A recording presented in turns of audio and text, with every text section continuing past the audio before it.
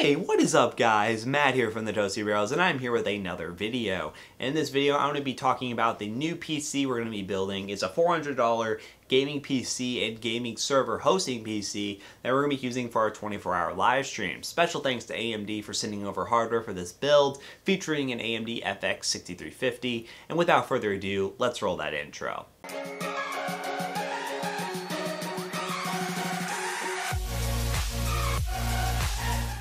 Now, as I said, most of this build was supported by AMD. Thanks to them for sending over this hardware. Really appreciate it. They're awesome and they are a main supporter of the actual 24-hour live event. If you haven't seen the announcement video for that, be sure to click the eye right up here and it will take you to that video. The live stream was on June 24, 2016 if you're watching this in the future. So if you want to watch the archive, it's on YouTube, so you can definitely check that out.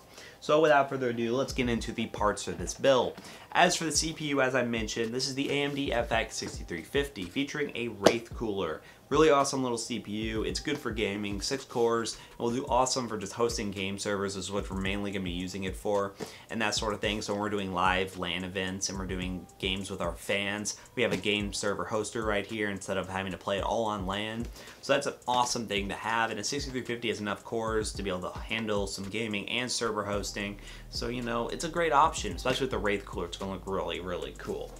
So then for the motherboard to house this CPU, we have the MSI 970A G43 Plus motherboard. It's an all black motherboard, looks really clean. Um, it's ATX, full size motherboard, and it really has all the bells and whistles we need to, to house the AMD FX 6350 and the graphics card, which is not the R9 390, which is what this box says, but the R9 270X. This graphics card is going to do great for the build. The R9 390 is in my PC because as my PC being the main streaming PC, I felt the need to have more horsepower behind it. So I took my old 270X, put it in this box, and basically said, hey, we're to put the 270X with the 6350 and it's going to look a baller. So yeah, Thanks to AMD for sending over this stuff right here. They sent over the processor, graphics card, and the 970A motherboard. So special thanks to them. And the rest of the stuff is what we picked up. So I decided to pick up for RAM-wise. We went with G-Skill Ripjaws G-Series. Awesome, awesome RAM. Uh, red color scheme, 600 megahertz. I have 16 gigs of that in my system. Really awesome RAM, really reliable. Haven't had any issues with it. And G-Skill is a very awesome brand.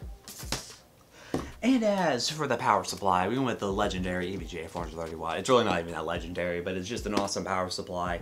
Uh, very reliable for what we've done. We've used this in a lot of builds. If you haven't watched our builds before, it's a really awesome, very budget oriented. $25 around that price range with rebates and that sort of stuff. So it's very, very budget oriented. 430 watts should be plenty for this build. Cable management is not the best because it's not fully modular and that sort of stuff, but we don't expect it at 25 freaking dollars. Uh, but it's an awesome power supply. It's really quiet. It does a really good job for actually putting out power and powering the system. So we highly recommend this power supply for the build and it's going to do awesome for us.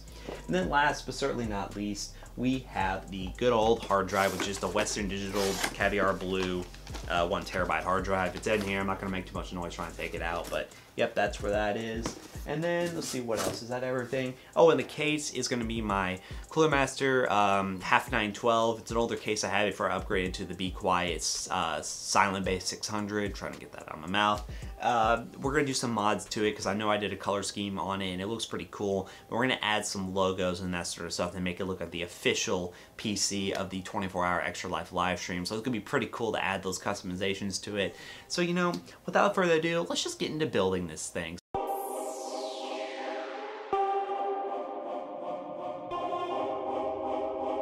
This is a Chucky Beat production.